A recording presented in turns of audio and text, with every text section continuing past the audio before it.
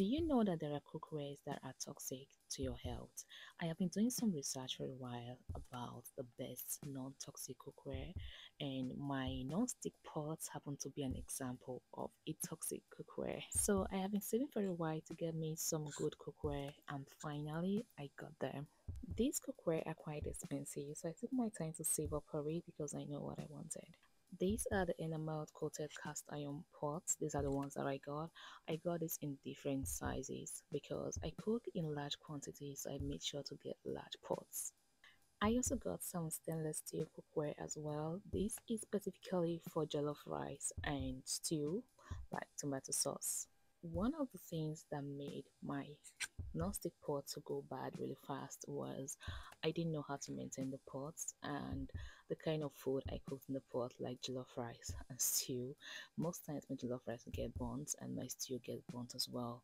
And then I would just go in with my iron sponge and start scrubbing.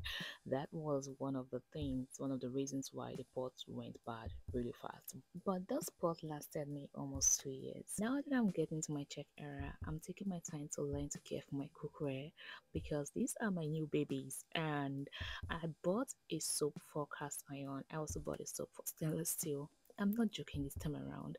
Let me just see how long this is going to last me. Hopefully they meet up my expectation. I'm going to use this for the first six months. After six months, I'll give an update if I remember.